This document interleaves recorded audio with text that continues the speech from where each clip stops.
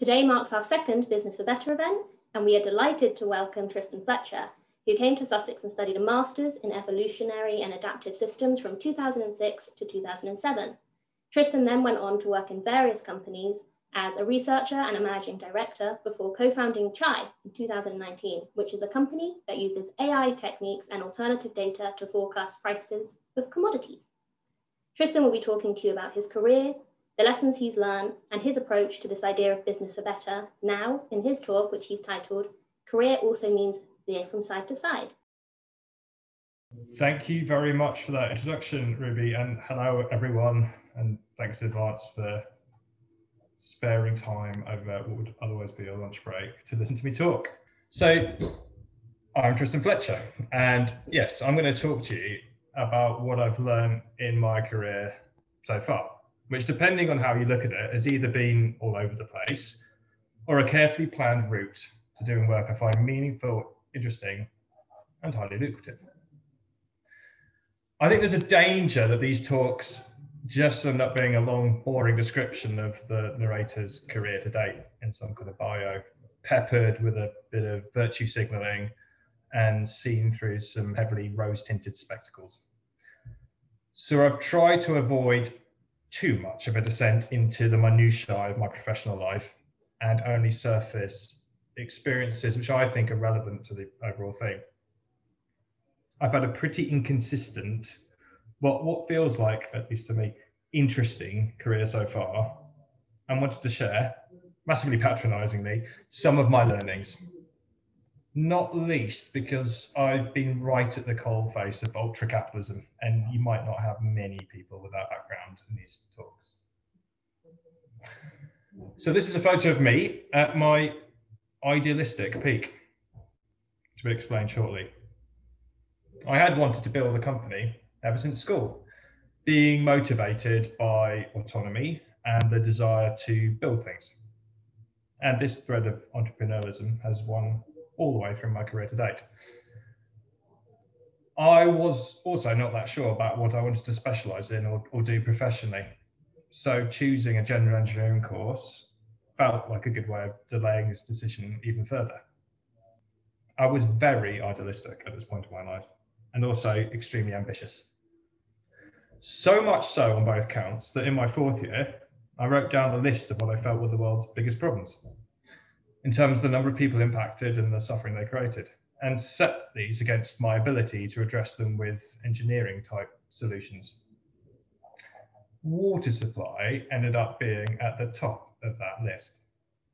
And while other students were counting bean tins in Wolverhampton, I flew out to rural India to try and build a water purifier for the developing world to use.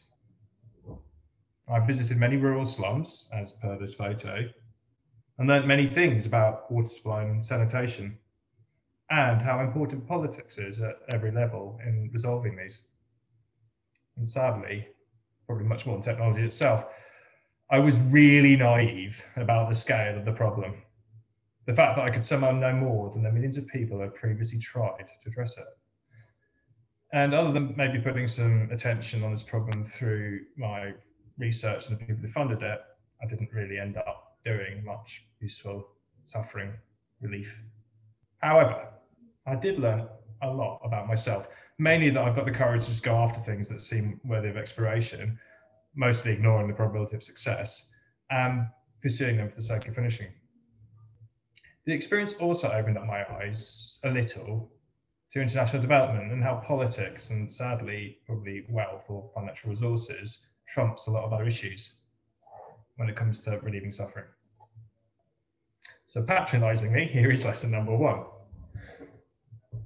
When you're young, or at least don't have any obligations or responsibilities, I do think it's really important to just go for or, or even create opportunities without worrying too much about the chance of failure you're going to regret these chances, or not taking these chances, sorry, much more than the kind of opportunity cost of being a year or two behind in whatever you choose to do anyway. My, my first degree I did at Cambridge, and all the people there were so obsessed about becoming like management consultants or working in investment banks and you know wanted to get eke every second out of those careers to get there as quickly as possible And it's great once you know you're going in the right direction. But I think until you know you're going in the right direction, you've got to experiment and ignore those things, and you're never going to be too far behind. Or maybe like when you're 50 or 60, but not not earlier on in your careers. Uh, and I think also you you get used to being courageous, and maybe when you're younger, some of that's actually just stupidity and not being aware of the consequences. But courage is a muscle you flex. So it's good to get into the habit of leaving your comfort zone earlier on.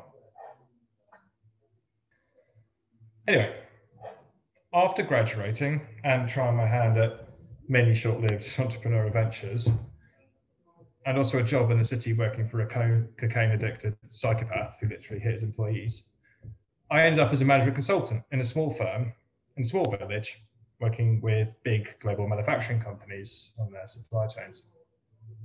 This felt like I was still delaying my career decision about where I wanted to work even more.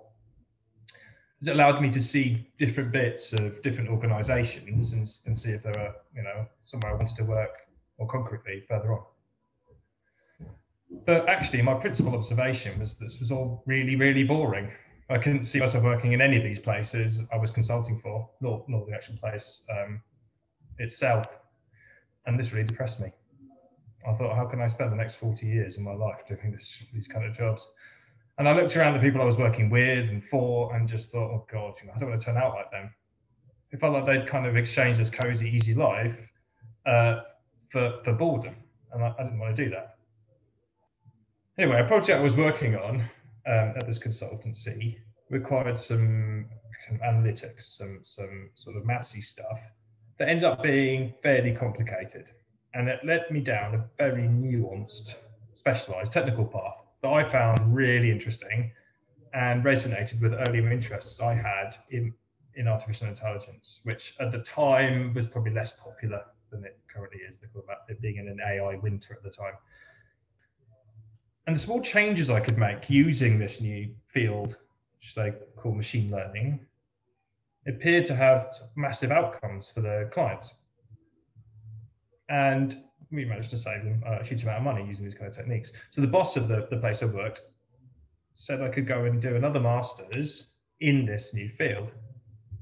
And here I came to Sussex at the uh, what's called the EASY MSc because of the acronym Evolution and Adaptive Systems.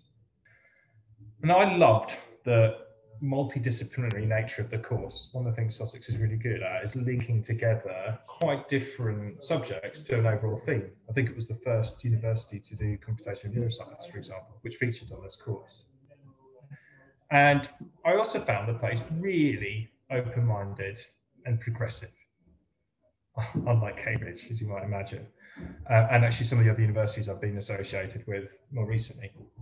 And this is a photo taken a few years ago of, of protests happening on, on the campus. Um, and I think one other sort of sub message I wanted to make to people watching this course is you probably take a lot of this stuff for granted, but it is something that pervades everything, you know, as Sussex does um, as an institution. And, and, you know, I've been involved with about five universities now, and by far the one I've engaged with the most is Sussex. So don't take it for granted. You know, you, you're lucky you are somewhere like this and not somewhere that doesn't stand up for what it believes in or care about the, the world as a bigger picture in anything other than a kind of academic sense. Anyway, despite the generosity of, of, of, the employer who basically paid me to come to Sussex, I felt like I had to get out of my comfort zone, lest I turned out like the kind of people I didn't really like around me or want to be like around me. I wanted to do something completely different. So completely pivoted and became an interest rate derivatives trader in an investment bank. It was really well paid, really fun, and felt glamorous, even though I was only moving money around and sort of hoping it stuck to my fingers, really. I was surrounded by people who spent their days getting taken out for amazing lunches, browsing for fine wines and auction at Sotheby's, and shouting at people. And I started to get really bought into this hedonic treadmill. But thankfully, even that wasn't enough. I wanted more money and more interesting work, so started a PhD and moved more and more into rarefied aspects of financial services like high frequency trading. I continued to gamble higher and higher paid stable jobs for more and more esoteric roles with abandon. I know I look back at this period of my life and think I was insane. But again, glad I didn't temper my restlessness or misplaced belief that things would carry on as before. But I drifted very far from the young man who wanted to cure the world's water problems to someone who wanted as much money as possible. I justified it a little bit with the fact that I could do more good with the money. But it's very hard to spend time with people conspicuously consuming without it rubbing off on you. One thing I was grateful for is my family and friends were all a bit suspicious of me earning money and kind of thought it was just a phase. And some things do stick in my mind at, at those times. There was a guy who sat opposite me at a well-known Swiss investment bank who had photos on his desk of his expensive sports cars and not his kids or anyone else in his family. And the other thing was that kind of arms race that used to form of people with their watch sizes, people showing off they had bigger and bigger watch sizes and how much money they spent on them. Another like, probably fairly obvious point is that a lot of people who make lots and lots of money are obsessed about it and not very interesting people. Anyway, I finally got sacked and had to take stock of where I was. Um, and, and that was someone who'd completely forgotten all his ideals and was completely unentrepreneurial. I'm someone who finds it quite hard to theoretically feel about something. I have to do it and then realize it was a silly thing to have done in the first place. And I like to gorge on things, like do them properly. So I kind of feel like the investment banking thing was something I needed to purge from my system. And if you can cope with the snake pit that forms in a bonus culture, you can kind of cope with the politics in most organizations afterwards. So here's patronizing lesson number two. You should probably go for it. When you do make these experiments, there's no point doing it half-heartedly because you're not going to learn as much. And, and, in some ways, you can't really fail if you're learning. So, you know, I encourage people to sort of gorge on their career experiences.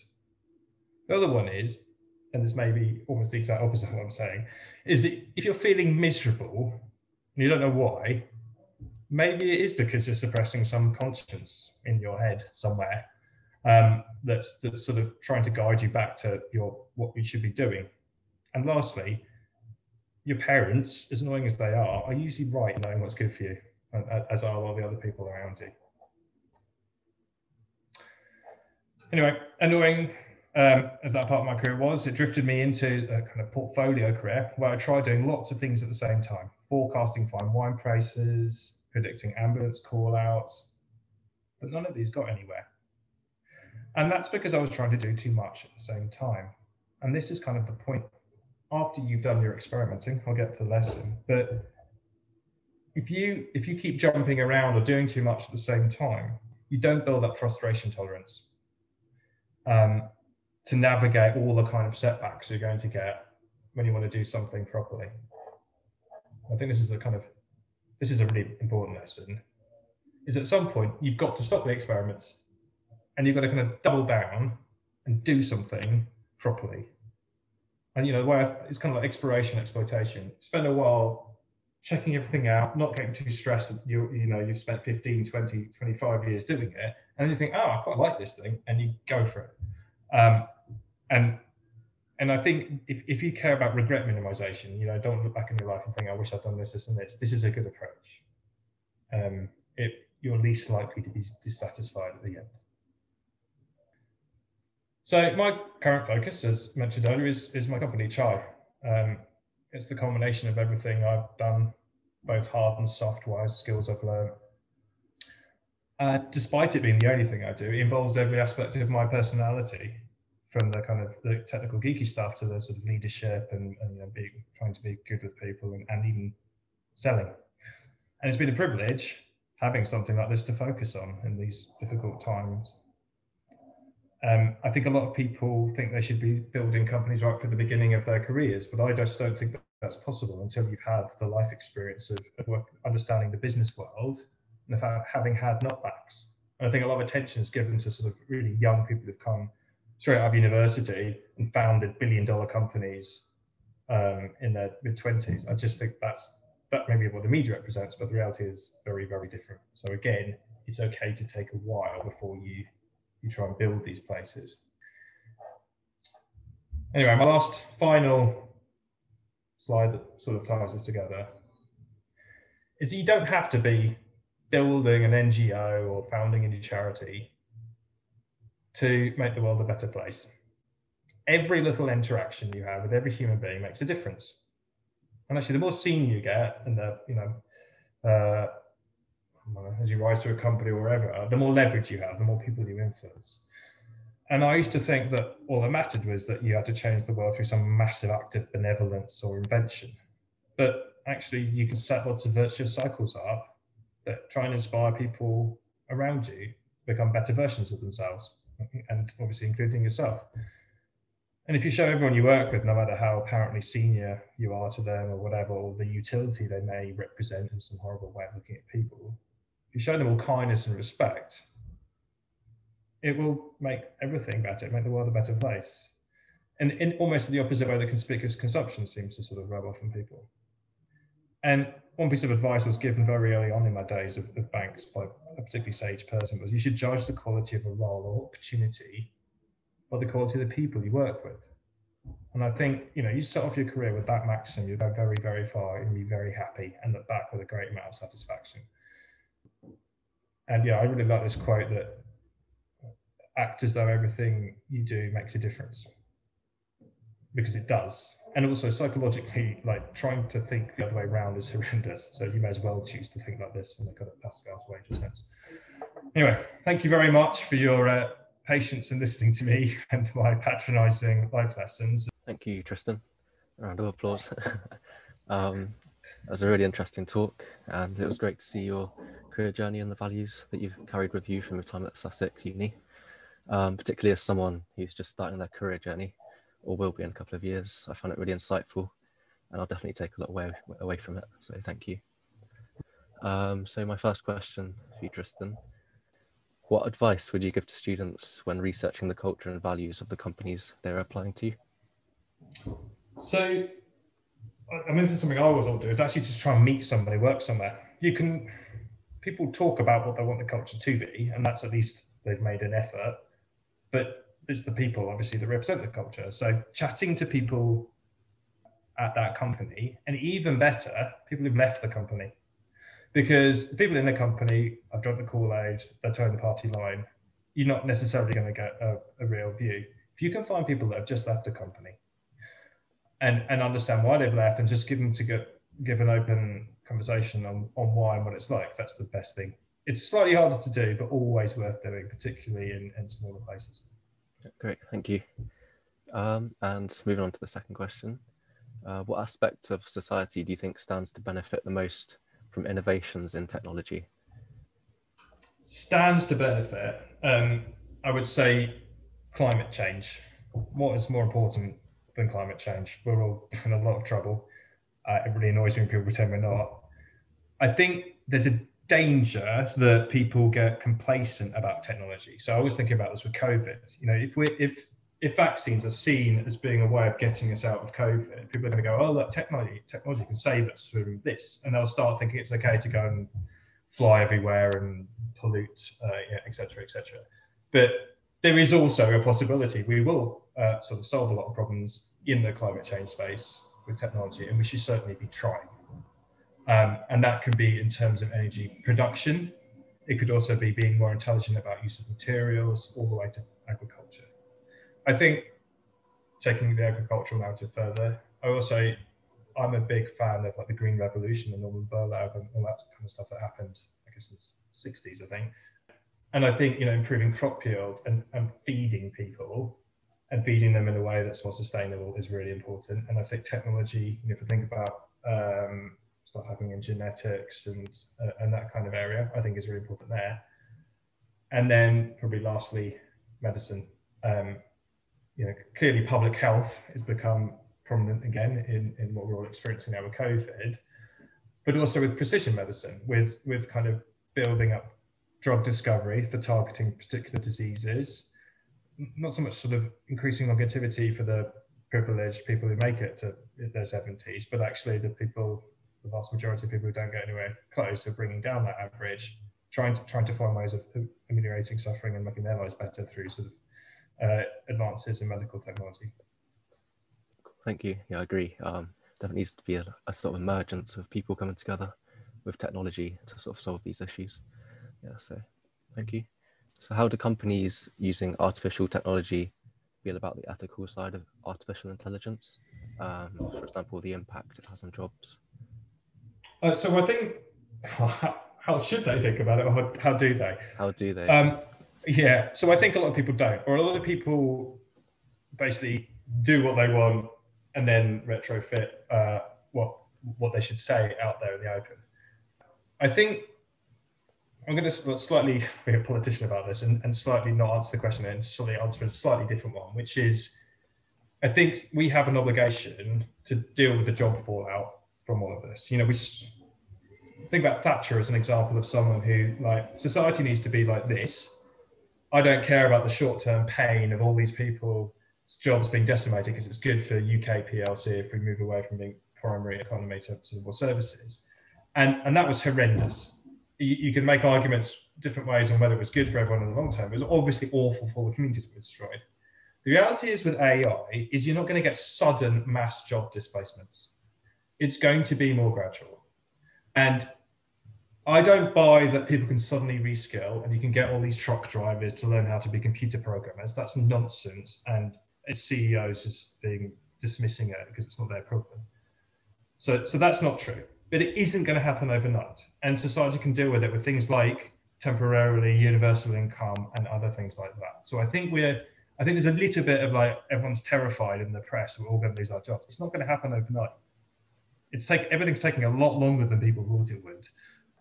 And I'm not sure I'd look to the companies doing the displacement of change to, to have the responsibility. I think it that's unrealistic. I think it has to be at society level, you know, kind of governments and state.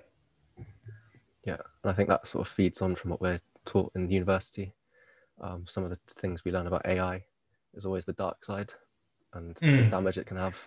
Um, yeah, so I, sort of, I, think some of that feeds on onto. I, I, I would say that I'm going to sound very defensive now. Um, I've been asked a lot about the sort of dark side of AI, and I, I think you know, I've been asked this by like really prestigious journalists who should know better. And I've been, literally been asked, you know, when's Terminator going to turn up and silly things like that. And I'm like, well, a lot of AI is really pedestrian. It's really not very exciting. It's not Arnold Schwarzenegger shooting Linda Hamilton. It's it's like making people's lives better through medicine, through better I know, credit provision and stuff like that. And it's very mundane, and as a consequence, doesn't make it into the to the news. The the kind of scary stuff doesn't we're so far away from a lot of the less benign use cases. It's it's it's a bit like worrying about. I think this is what Elon Musk said. It's a bit like worrying about overcrowding on Mars right now, before we've even got people going out there. So I think we have to worry about the job displacement thing, but in every other sense, don't worry about it. Yeah, Sorry. I agree. Um, so next question: What is a particular challenge or weakness you have faced, and how do you overcome it? Some I think few style question. Sorry. Yeah. Well, so so I'll tell you my answer to it. If someone asks that in a job interview, the classic one is that you're a perfectionist. I mean, to the point, it's a bit cheesy.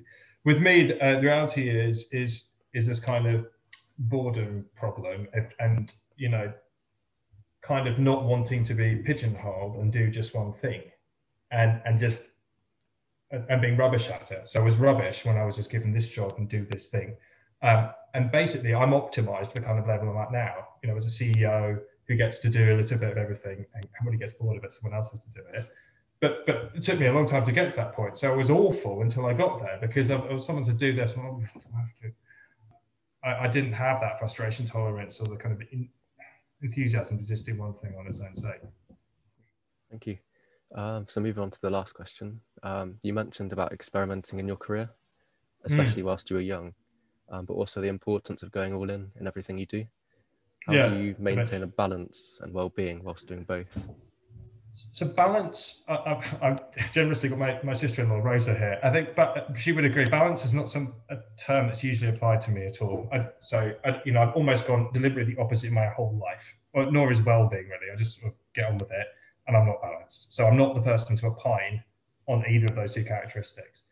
I, you know, for for other people, I would think about it as exploration, then exploitation. You you know you spend some time trying to figure out what you want to do, and then you go like that. Because if you're trying to do both at the same time, yeah, you you will go mad, I suppose. so I guess that sums up our interview section.